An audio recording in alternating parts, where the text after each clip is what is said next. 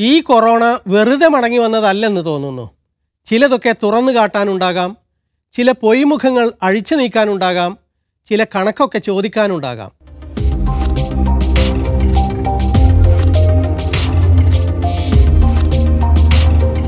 ഈ രണ്ടാം വരവ് ഒന്നാം വരവിനേക്കാൾ ഭീകരം. മൃതദേഹങ്ങളുടെ നിലയ്ക്കാത്ത പ്രവാഹം. ഭാര്യയുടെ ജഡവുമായി ഈ എഴുപതുകാരൻ ഇരുന്നൂറ് കിലോമീറ്ററാണ് സ്വന്തം ഗ്രാമത്തിലേക്ക് സൈക്കിൾ ചവിട്ടിയത്. പറഞ്ഞാൽ തീരാത്ത ദുഃഖകഥകൾ. നിസ്വാർത്ഥ സേവനം നടത്തുന്ന ഡോക്ടർമാർക്ക് പറയാനുള്ളത് നടുക്കുന്ന അനുഭവങ്ങൾ. ഡൽഹിയിലെ ഏറ്റവും വലിയ ഹോസ്പിറ്റലിലെ doctor Farah Hussain C N എന്നിനോട് സംസാരിക്കുന്നത് തന്നെ ക്ഷീണിച്ച സ്വരത്തിലാണ്. We've had patients rush being rushed in, almost uh, wards getting filled up overnight, 90 patients in less than 12 hours. And the problem with this virus is the second wave is extremely contagious, extremely aggressive, and it is affecting the younger population in a significantly different way that we had not expected. We have been the largest dedicated hospital in Delhi. Your words are chilling, I have to say, Dr. Hussein. Nothing short of an apocalypse. And, and I think we can hear it in your voice how exhausting this is. I mean, you've had COVID, your five year old twins have had COVID, your mother and father, your nanny all had COVID. How hard has this been on you Yes. personally? It's been extremely taxing because while we are dealing with COVID at home, there are people who are reaching out for help. And I'm talking about close family friends, close family, my best friend's mom, my sister's best friend's mom. It's, it's just like no other house has been spared. എങ്ങനെ കാര്യങ്ങൾ ഇവിടെ എത്തി എന്ന ചർച്ചകളിൽ ഇനി കാര്യമില്ല. ഭരണകൂടം തികഞ്ഞ പരാജയമെന്ന് ഇനിയും അറിയാത്തവർ അതറിയേണ്ട എന്ന് തീരുമാനിച്ചവർ മാത്രമാകും. കോവിഡിനെ തുരത്തിയതായി പ്രധാനമന്ത്രി പ്രഖ്യാപിച്ചതിന് പിന്നാലെ വന്നതാണ് രണ്ടാം തരംഗം. The criticism and the condemnation of Prime Minister Narendra Modi and his government's failed response continues to grow louder.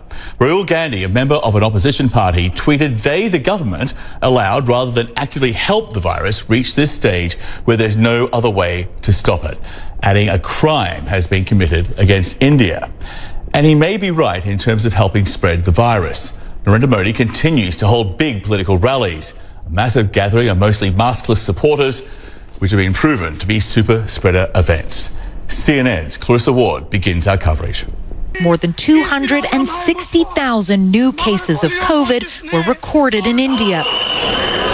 Shortly after, millions of worshippers were allowed to congregate for the end of the weeks long Hindu Kumbh Mela pilgrimage. പണമുള്ളവരും ഇല്ലാത്തവരും നഗരവാസികളും ഗ്രാമീണരും എല്ലാവരും ഒരുപോലെ ദുരിതത്തിൽ സ്വന്തക്കാർ കൺമുന്നിൽ മരിക്കുമ്പോൾ അവർ ഭരണത്തകർച്ച തിരിച്ചറിയുന്നു It was the worst, worst night of my life that I was not able to save her.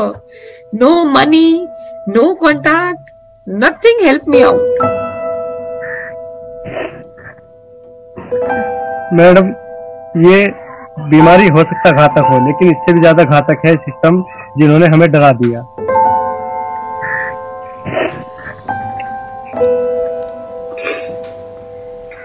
नंगा नाच मौत का नंगा नाच चला था हॉस्पिटल में नंगा नाच अरे एक कुल्हाड़ा लेके बाहर बैठ जाओ गर्दन पे मारते रहो कम से कम तसली दो लोगों को मार दिया कोई नहीं यहाँ पे दिख रहा देखो कोई नहीं दिख रहा देखो वो डॉक्टर भी नहीं है यहाँ पे मेरा मेरा नाच कर दिया लोगों ने उस वक्त मेरे अंदर वो दर्द था कि मेरे सीने से किसी ने मेरा दिल निकाल लिया ചികിത്സ കിട്ടാനില്ല ഡോക്ടർമാർക്ക് തിരക്കൊഴിഞ്ഞ നേരമില്ല ഓക്സിജൻ ഇല്ല വെന്റിലേറ്റർ ഇല്ല ആശുപത്രിയിൽ ഇടമില്ല. ഇപ്പോൾ വൈറസ് ഗ്രാമങ്ങളിലേക്കും കുട്ടികളിലേക്കും വരെ തിരിഞ്ഞിരിക്കുന്നു. നമ്മുടെ തെറ്റുകൾ പൊങ്ങച്ചങ്ങൾ തിരിച്ചടിക്കുകയാണ്.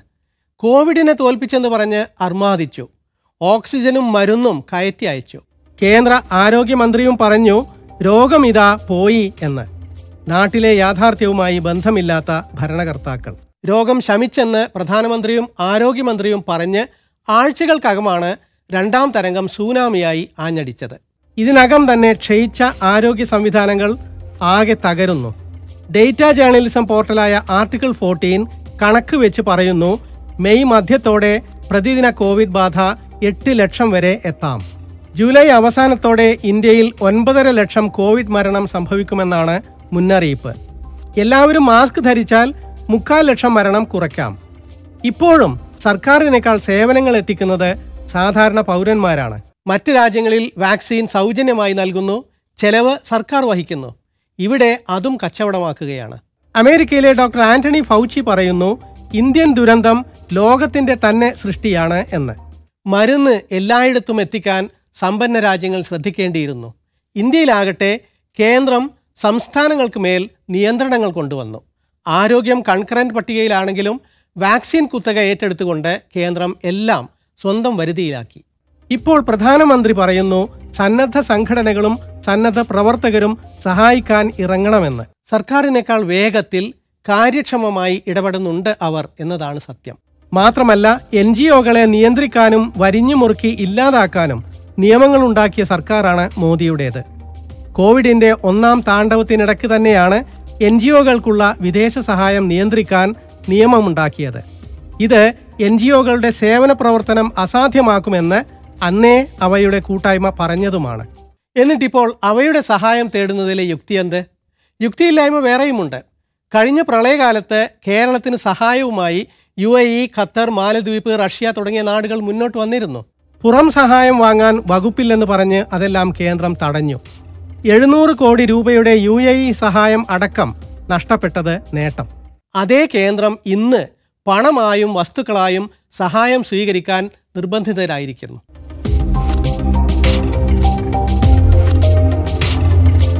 അതിനിടെ മറ്റൊരു വാദവും പൊളിഞ്ഞു.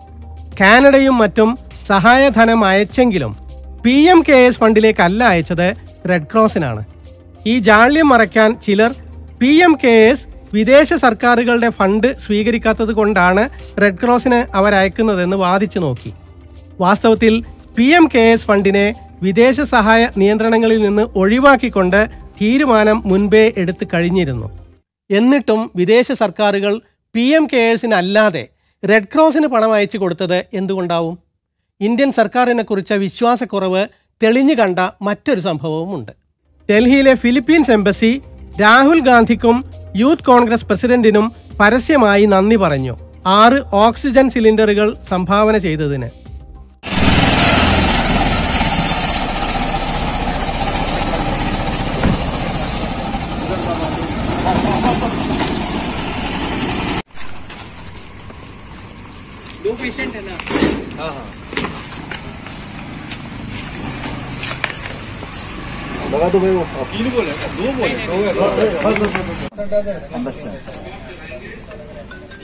പിന്നാലെ വന്നു യൂത്ത് കോൺഗ്രസ് നേതാവ് ശ്രീനിവാസിന്റെ ഈ ട്വീറ്റ്.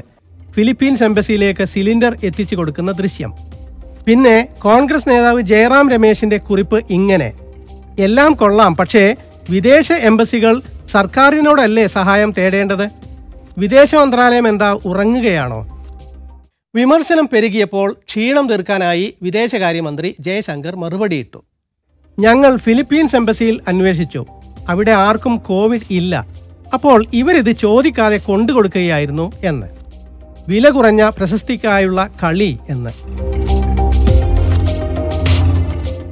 ചോദിക്കാതെ ആരെങ്കിലും കൊടുക്കുന്ന സിലിണ്ടർ വാങ്ങി വെക്കാൻ മാത്രം വിഡ്ഢികളോ വിദേശ എംബസികൾ? മന്ത്രിക്ക് ഇത്ര പോലും ധാരണയില്ലേ? എന്നായി സമൂഹ മാധ്യമ കമന്റുകൾ. യൂത്ത് കോൺഗ്രസ് മന്ത്രിക്ക് മറുപടിയും നൽകി. എംബസിയിൽ നിന്ന് അടിയന്തര സന്ദേശം കിട്ടിയത് പ്രകാരമാണ് ഞങ്ങൾ എത്തിച്ചത്. അവർ ചോദിച്ചിട്ട് തന്നെ ഒപ്പം നൽകിയ തെളിവുകൾക്ക് മുൻപിൽ മന്ത്രി നിശബ്ദനായി. ഇതിനുശേഷമാണ് സർക്കാർ സംവിധാനം ചലിച്ചു തുടങ്ങിയതെന്ന് ആർട്ടിക്കിൾ ഫോർട്ടീൻ നടത്തിയ അന്വേഷണത്തിൽ കണ്ടു. ഏപ്രിൽ മുപ്പതിന് എംബസി സഹായത്തിനായി മന്ത്രാലയത്തിലേക്ക് വിളിച്ചതാണ്. അനക്കമില്ല. പിന്നെയാണ് യൂത്ത് കോൺഗ്രസിലെ ശ്രീനിവാസിനെ വിളിച്ചത്. ഈ സംഭവം കഴിഞ്ഞപ്പോൾ ന്യൂസിലൻഡ് എംബസിയിൽ നിന്നും ശ്രീനിവാസനും യൂത്ത് കോൺഗ്രസിനും ട്വിറ്റർ സന്ദേശം വന്നു. സിലിണ്ടർ വേണം അടിയന്തരമാണ്. ദാ എത്തി എന്ന് ശ്രീനിവാസിന്റെ മറു ട്വീറ്റ്. സാധാരണ സർക്കാർ പക്ഷം പറയാറുള്ള ജേർണലിസ്റ്റ് രാഹുൽ കമൽ വരെ കമന്റ് ഇട്ടു വിദേശ എംബസികൾ പ്രതിപക്ഷ പാർട്ടിയോട് സഹായം തേടേണ്ടി വരുന്നത് നാണക്കേടാണ് എന്ന്. ഭരണയന്ത്രം ചലിക്കാത്തതിന് ഇത് മാത്രമല്ല ഉദാഹരണം. കാരണം തിരയേണ്ടതുമില്ല. സംവിധാനങ്ങളെ ചലിപ്പിക്കേണ്ടവർ അത് ചെയ്യുന്നില്ല. സി എൻ എൻ ചോദിക്കുന്നു ഇന്ത്യയ്ക്ക് ലോകരാജ്യങ്ങൾ അയച്ച കോടികൾ എവിടെ പോയി? അത് ആവശ്യക്കാർക്ക് എത്താത്തത് എന്ത്? ചോദ്യത്തിനുള്ള ഒരു ഉത്തരം ഈ കുറിപ്പുകളിൽ ഉണ്ടാകും. മെയ് മൂന്നിന് പുലർച്ചെ നാലിനാണ് രണ്ട് ട്വീറ്റും. ഐ സി യു ബെഡ് അടിയന്തരമായി വേണം എന്നതാണ് ഒന്ന്. അത് കേൾക്കേണ്ടിയിരുന്ന ആരോഗ്യമന്ത്രിയുടെ ട്വീറ്റ് തൊട്ടടുത്ത്. അസമിലും പുതുച്ചേരിയിലും തെരഞ്ഞെടുപ്പ് ജയിച്ചതിന് മോദിജിക്ക് അഭിനന്ദനം എന്ന്. ഇത്തരക്കാർ ഭരിക്കുമ്പോൾ എങ്ങനെ കാര്യങ്ങൾ ശരിക്കു നടക്കും? ലക്ഷങ്ങൾ മരിക്കുന്നു ആരോഗ്യമന്ത്രിയുടെ ശ്രദ്ധ തെരഞ്ഞെടുപ്പിൽ. പ്രധാനമന്ത്രി കാണിച്ചു കൊടുത്ത ചീത്ത മാതൃക തന്നെ. ഹിന്ദുസ്ഥാൻ ടൈംസ് മെയ് അഞ്ചിന് റിപ്പോർട്ട് ചെയ്ത മറ്റൊരു വാർത്ത കാണുക. മുന്നൂറ് ഉന്നത ഉദ്യോഗസ്ഥർ ഒരു പ്രധാന ശില്പശാലയിൽ പങ്കുകൊള്ളുകയാണ്. കോവിഡ് നിയന്ത്രണമൊന്നുമല്ല വിഷയം. സർക്കാരിന്റെ പ്രതിച്ഛായ മെച്ചപ്പെടുത്താൻ എന്ത് ചെയ്യണം എന്നതാണ്. ഫിലിപ്പീൻസ് ന്യൂസിലൻഡ് എംബസികൾ പ്രതിച്ഛായക്ക് വരുത്തിയ പരുക്ക് എങ്ങനെ മാറ്റിയെന്നോ? ഫിലിപ്പീൻസ് എംബസിയെ കൊണ്ട് യൂത്ത് കോൺഗ്രസിനെ പ്രശംസിക്കുന്ന ട്വീറ്റ് എടുത്തു മാറ്റിച്ചു. ന്യൂസിലൻഡ് എംബസിയും സമാനമായ ട്വീറ്റ് പിൻവലിച്ചതായി പ്രധാനമന്ത്രി Jacinda Ardern ഒരു അഭിമുഖത്തിൽ അറിയിച്ചു uh, recognise that we do have a local staff member um, who's within the compound who has been very unwell. So that was the basis on which that call was made. The, the decision was made by the Indian Youth Congress to supply those oxygen cylinders to the New Zealand High Commission, who actually put the tweet out directly to them. Is this a good look? And, you've seen that the um, High Commission them, themselves um, have uh, uh, have themselves removed that tweet, acknowledged that that wasn't the process that should have been used. അത് പ്രതിച്ഛായ management മൂന്നേ മുക്കാൽ ലക്ഷം രോഗികളും മൂവായിരത്തി എണ്ണൂറ് മരണവും പുതുതായുണ്ടായ ദിവസമാണല്ലോ മുന്നൂറ് ഉന്നത ഉദ്യോഗസ്ഥരെ പ്രതിച്ഛായ മാനേജ്മെന്റ് പഠിക്കാൻ അയച്ചത് ഇനി ബാബുമാരെന്ന് വിളിക്കുന്ന ഈ ഉദ്യോഗസ്ഥ വൃന്ദമാണോ കുഴപ്പക്കാർ? പ്രതിച്ഛായ അവർ മിനുക്കി എടുക്കേണ്ടതാണോ? ടൈംസ് നൗ ചാനൽ പറയുന്നു അതെ എന്ന്. രാഹുൽ ശിവശങ്കർ കുറ്റപ്പെടുത്തുന്നത് മോദിയെയോ മന്ത്രിമാരെയോ അല്ല ബാബുമാരെയാണ്.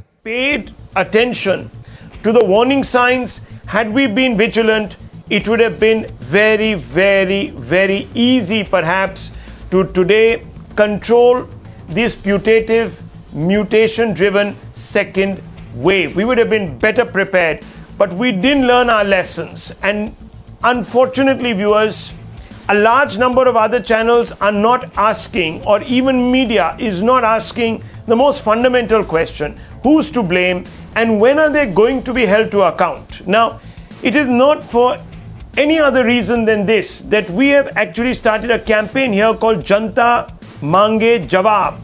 Times നവിലെ നവികയും ഉദ്യോഗസ്ഥരെ പഴിക്കുന്നു അല്ലാതെ മോദിയെ കുറ്റം പറയാനാകില്ലല്ലോ അവർക്കെന്ന് Manisha Pandey watching this debate will think that मर तो आम आदमी रहा है मरने दो क्योंकि between political parties what has to be settled is गलती किसकी थी एक not one head has rolled in any state government in the center no babu nobody who was responsible for giving these uh, uh, warnings nothing has happened Notice how she says that when it comes to the center, किसी भी बाबू का head role नहीं हुआ because you can't say Modi obviously പക്ഷേ മോദിയെ സുഖിപ്പിക്കാൻ മുൻപ് ഇവർ നടത്തിയ ഒരു അഭിമുഖമുണ്ട് അതിൽ മോദി അവരോട് പറഞ്ഞത് ബാബുമാരല്ല ഭരിക്കുന്നത് എന്നാണ് में हम एयर कंडीशन कमरों में बैठ करके बाबुओं के द्वारा देश को नहीं चला सकते देश बहुत बड़ा है विशेषताओं से भरा हुआ देश है और इसलिए हमें कोशिश ये करनी चाहिए कि जनता के बीच जाना चाहिए जनता से संवाद करना चाहिए तो मैं लगातार इस काम को कर रहा हूँ ഏതായാലും മോദി ഭരണത്തിൽ പ്രശ്നമുണ്ട് എന്നെങ്കിലും ഇവർ സമ്മതിച്ചു മുൻപ് മോദി ഭക്തനായിരുന്നു ചേതൻ ഭഗത് എന്ന എഴുത്തുകാരൻ ഇപ്പോൾ അദ്ദേഹം മാറി ബർഖാദത്തുമായുള്ള അഭിമുഖത്തിൽ അദ്ദേഹം സർക്കാരിനെ വിമർശിക്കുന്നു സമയമുണ്ടായിരുന്നപ്പോൾ നമ്മൾ പാട്ടകൊട്ടി പാട്ടുപാടി നേരം കളഞ്ഞു എന്ന് Now, what were we doing at that time? Okay. In March, we were banging plates. In April, we were doing, I think, um, if I'm not wrong, in June, we were doing Sushant, right? Yeah. We were doing, um, so in March, April was the plates time. June, we were doing Sushant. In September, we were interested in which Bollywood st- star smokes weed. I'm not, this is not funny. This is actually what the top headline was. This is what was shaking the nation every night. This is when all over the world, people were putting money in these vaccines and securing supply.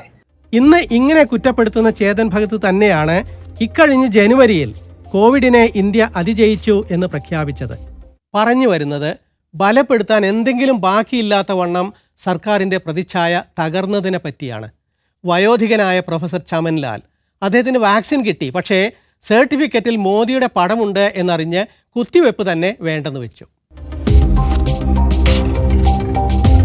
മഹാമാരിക്കിടയിലും പ്രതിച്ഛായയെപ്പറ്റി വേവലാതിപ്പെടുന്നവർ. ആ പ്രതിച്ഛായ ഇന്ന് മിഥ്യയാണ്. നരേന്ദ്രമോദിയുടെ മണ്ഡലത്തിൽ വരെ നിരാശയും രോഷവും പ്രകടമാണ് എന്ന് ബി ബി സി.